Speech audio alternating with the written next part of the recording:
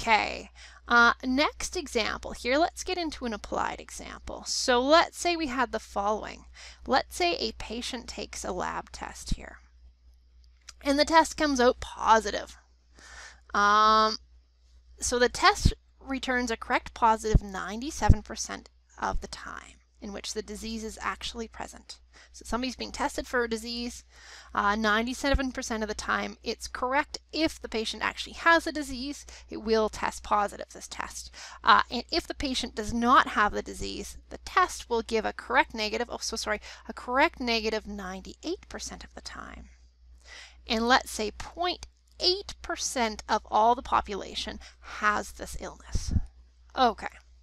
Um, now, first question, what is the probability that a person tests positive and has the disease? Okay, so let's look at what we have. Okay, so what we have so far. This first one here. So it's a little bit trickier when we're trying to take uh, words and put them into a probability. So we have the following. We have the probability that if someone has the disease,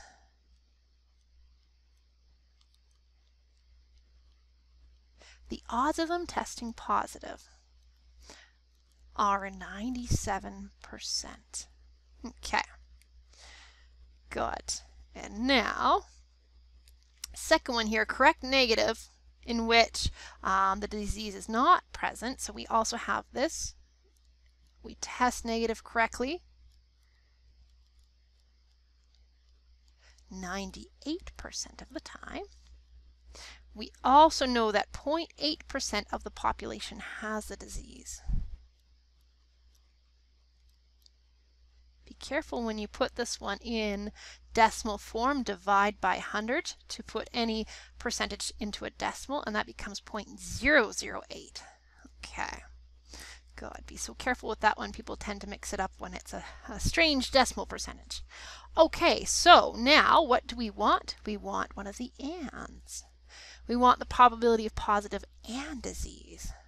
Well, we have positive given has disease. We have probability of has disease.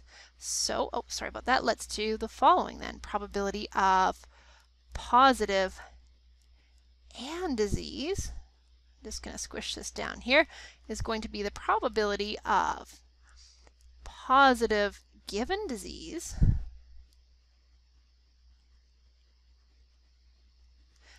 times by the probability of disease. So whatever is behind the line, that's what you need to then multiply by afterwards, if that helps. Okay. Or you can think of it this way. You could actually switch the order of these and go, okay, somebody has a disease. What are the odds they also test positive given they have that disease, if that makes sense. Okay.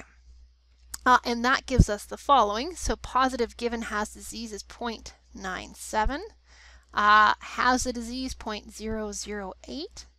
Multiply those two together and let's see what we get. 0.00776. Beautiful. So that's the odds of testing positive and having the disease. Okay, let's keep going with this example. We're actually going to revisit this example in the Bayes rule um, lecture.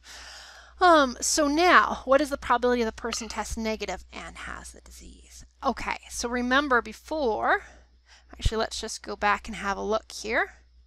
So, we want negative and has the disease. So this is a little bit sneaky. We have negative and no disease. Okay, we have positive and disease. Okay, how can we deal with negative and disease. We have negative and no disease right now. Okay. Well, what we're going to want to look at is the following. We have probability of positive and has disease. That 0.97. Okay, what we can do is take a complement. So test positive out of the people who have the disease, the test tests positive 97% of the time. Well, what's left is the 3% of the time it does not test positive. Well, if it does not test positive, it's going to test negative.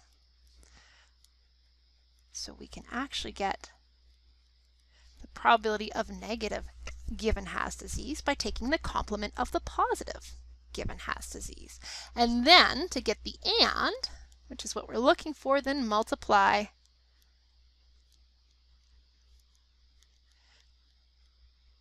the following, multiply the negative given has disease by what's behind the line here, which is has disease, which is the 0.008.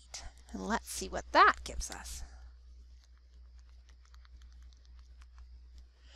Gives us 0.00024.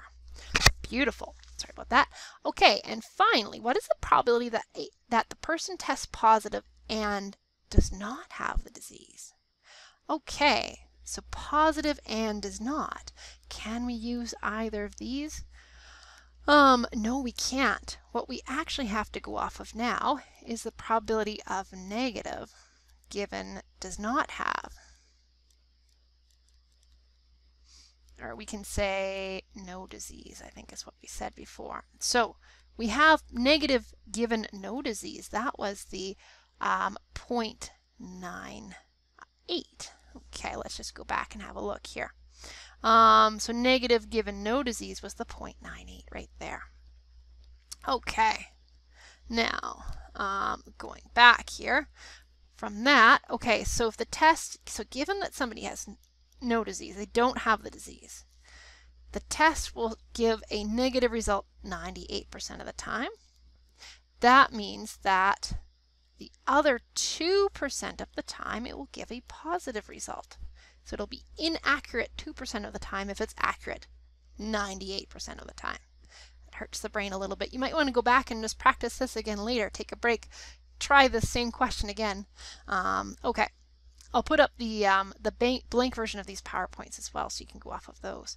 Um, okay, now from that what we can get is positive and no disease.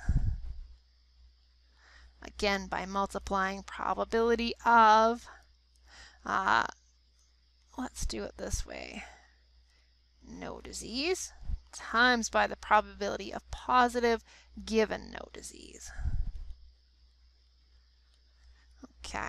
Note, you can write these in either order in multiplication. Multiplication you can do in either order. For example, 3 times 5 is the same as 5 times 3, right? You can multiply the numbers in either order. It doesn't matter. Okay, so back to here. So odds of no disease. Well, we know the odds of having the disease are uh, 0.008. What are the odds of not having the disease?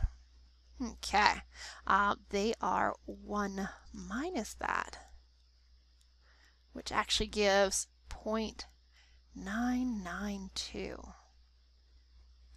Okay, and then again, that's another complement. Uh, and then we already figured out what positive given no disease was. That's that 0.02. And then multiply those two together. So figure out what's in your bracket first, which is that 0.992. Uh, and then times by the 0.02. And that gives us 0.01984. Okay.